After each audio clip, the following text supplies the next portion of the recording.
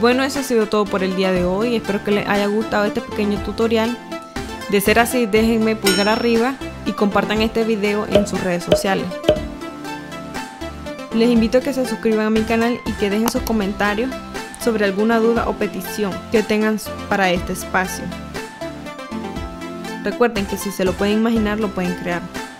Les saluda su amiga Mila y nos vemos en el próximo video. Bye.